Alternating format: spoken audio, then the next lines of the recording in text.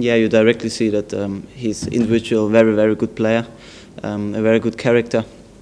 Um, that he is a leader on the pitch, um, that he have a lot of experience, um, a lot of years in the Premier League. So, of course, I think this helps every team, um, and it helps us as well. So we are very very lucky and very happy that we have him in our team now.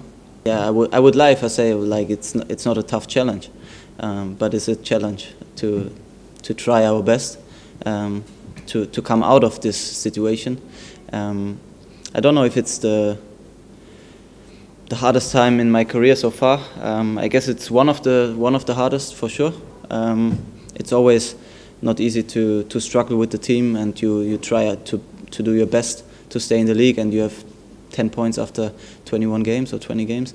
Of course, it's not the easy situation, but um, um I remember that I uh, was with my team in Dortmund before. Um, I think it was the last year of Jurgen Klopp as a coach.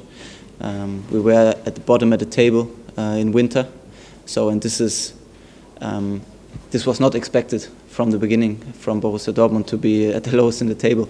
Um, so I don't want to compare these these two two, uh, two clubs, um, but I definitely think um, when I came here that I know it will be a tough season. And when I was in Dortmund, we didn't expect to be lowest at the table. We always tried to be at the first or at the second uh, at the second um, place.